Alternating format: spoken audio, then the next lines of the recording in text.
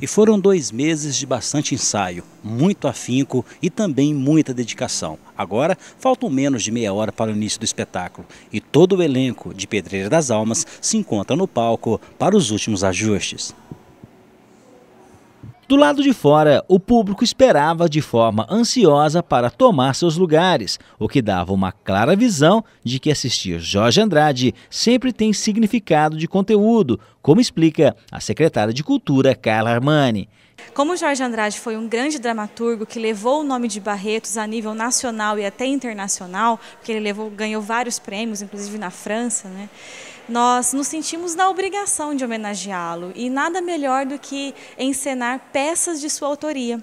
Jorge Andrade foi um grande dramaturgo que dissertava muito a respeito da crise de 29, de movimentos messiânicos, do processo de industrialização e urbanização brasileiro. Ele tinha muitos temas específicos que retratam a, o Brasil em si e também a nossa terra. Mesmo não falando só de Barretos, ele conseguia retratar pontos que todos os brasileiros tinham em comum comum em relação à política, à miséria, a estado social. São muitas temáticas complexas a respeito da nossa história. Então, com certeza, ele é um artista extremamente importante para ser homenageado e nós nos sentimos muito, honra muito honrados em fazer isso. O público ocupou quase todos os lugares disponíveis no Cine Barretos. A peça que estreou a Semana Jorge Andrade foi Pedreiras da Alma, que conta a história de um povo que vive em um lugarejo que foi cercado pelo cemitério, quando então surge a figura do revolucionário Gabriel. E para retratar toda essa história, entram em cena os estreantes Tainá Moraes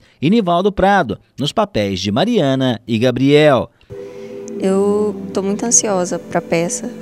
É a minha primeira e só dois meses de ensaio, foi bem puxado.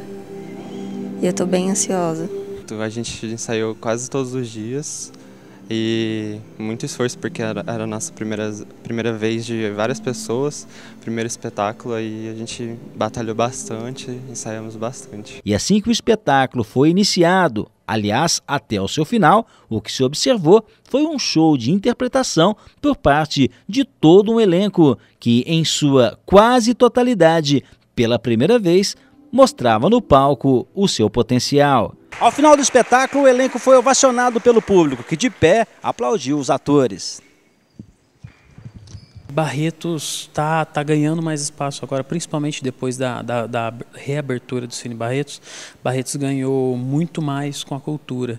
E eu espero que as pessoas saiam de casa para vir, porque muitas vezes é de graça. Hoje estava quase lotado, mas ainda tinha um pouquinho de espaço. Então, é, Barretos precisa disso cada vez mais. Eu acho que tá, tá, tem aumentado, mas muita gente ainda pode vir, porque é, é, é uma, uma uma, algumas lições que a gente não encontra no cinema, não encontra na música, principalmente as músicas de hoje em dia, mas que no cinema a gente sente mais de verdade o que o ator quer, quer fazer. Foi muito, assim, é muito instrutivo, assim, é muito importante. Eu gostaria que todos pudessem vir assistir uma peça assim, para ver que é muita cultura. A gente que eu que curto arte também um pouquinho, né? Eu, eu gostei bastante. E quando a gente vê essa moçada de bairro, a gente fica mais feliz ainda. Teve uma outra Bom, você perguntou dessa, né? Achei legal. Super legal. É, foi muito bom, interessante saber sobre a cultura do Jorge Andrade. Foi muito interessante, gostamos bastante. Valeu a pena? Valeu, valeu a pena.